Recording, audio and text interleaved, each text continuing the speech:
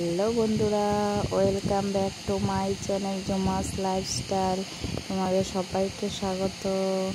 তো আজকে তোমাদের কাছে নিয়ে এলাম পাস্তা রেসিপি আমি কীভাবে পাস্তা বানাই দেখো, এখানে দেখো পেঁয়াজ, লঙ্কা কেটে নিয়েছি।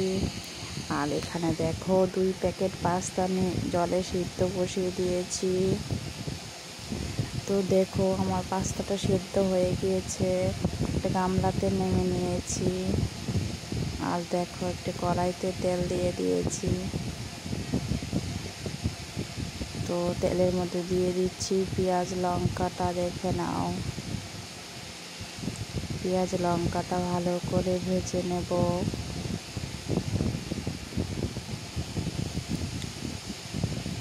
তো এর মধ্যে দিয়ে দিচ্ছি একটু লবণ। লবণ দিয়ে ভালো করে ভেজে নিয়েছি। দেখো লাল লাল হয়ে গিয়েছে। এবার এর মধ্যে পাস্তাটা ঢেলে দেবো দেখো। পাস্তাটা দিয়ে দিচ্ছি। এবার ওর মধ্যে দিয়ে দিচ্ছি পাস্তা মশলা নুন লবণ দিয়ে দিয়েছি।